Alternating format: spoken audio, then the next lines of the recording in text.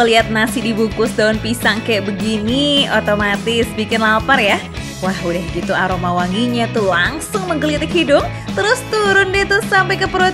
Apalagi kalau ditemenin sama lauk yang beraneka ragam.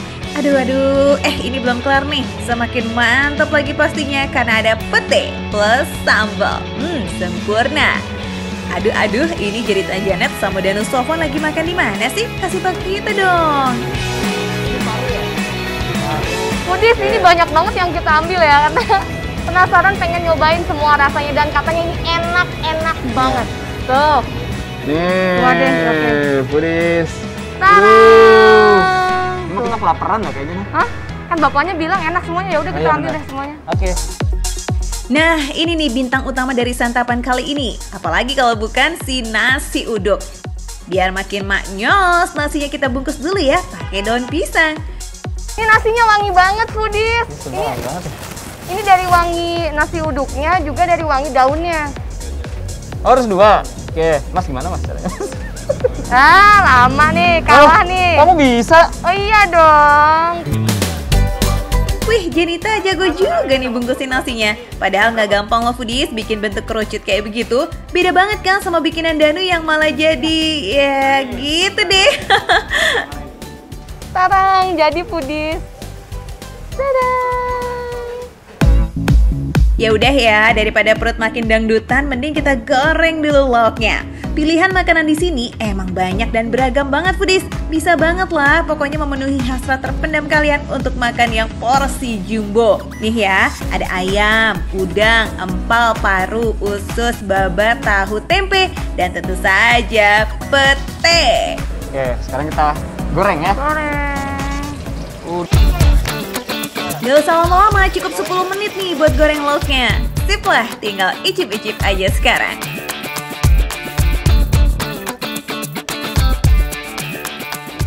Hmm. Kita coba. Foodies kita udah cuci tangan ya.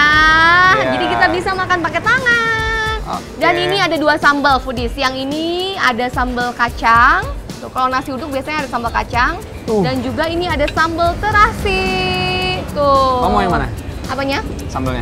Sam- aku mau dua-duanya. Oke. Makan apa pun emang belum lengkap ya foodies kalau nggak pakai sambal, setuju? Jodohnya nasi uduk ya, ini nih si sambal kacang. Buat teman lauk ada juga sambal terasi ya. Maaf maaf ya Foodies ya. Cobain dulu nasinya doang nih. Nggak pakai apa pun. Ini pete ya? Hmm. Ini nggak pakai temennya. Enak ah. Iya. Nggak bau sih tapi kalau diginiin. Iya. Soal sambal. Hmm. Hmm. Uh. Mantap. Ada bawangnya. Hmm. Cocol sambal.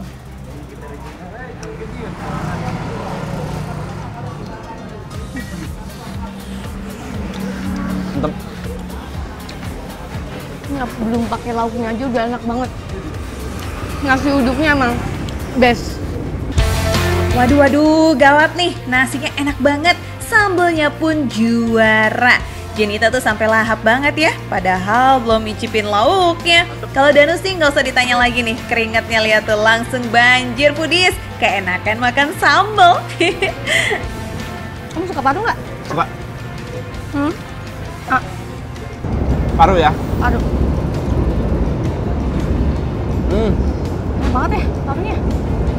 Empuk, empuk. Banget. Sambelnya dua-duanya enak. Tapi ternyata pas di mix lebih enak. Lebih enak. Dia ngeblend antara sambal kacang sama sambal terasinya. Iya. Nih. Ini aku nggak pakai Hmm. lauknya aja udah enak banget. Nasi, sambal, dan parunya gak ada lawan foodies. Kalau ketemu sama lauk yang lain, ini gimana ya? Uh, Hmm. Tahunya juga enak nih. tahunya best. Hmm. Ini udangnya aku cocol sambal. Mantap. Ini udangnya fresh banget, jadi pas aku makan di cocol sambal, rasa wangi udangnya tuh kecium banget. Hmm. Tapi si sambal terasinya juga kerasa banget terasinya. Jadi cocok tuh kan terasi dari udang tuh. Jadi nyampur di lidah gitu loh. Klop ya? Klop banget, Nggak berantem dia? nggak berantem. Terus yang menyatukan apa coba? Apa? Nasinya. Semua lauknya tuh klop banget ketemu sama nasi uduk dan sambal. Sampai-sampai Danu yang baru sekali cobain pete nih foodies, eh kepengen nambah lagi tuh. Ngomong-ngomong, nasinya jangan dianggurin dong. Boleh ya kalau mau nambah lagi loh.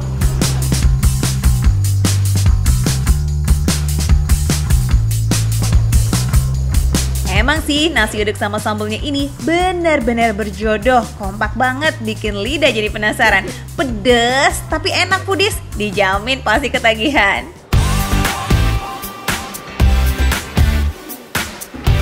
Makan receh, Menu receh, tapi rasa nggak recehan.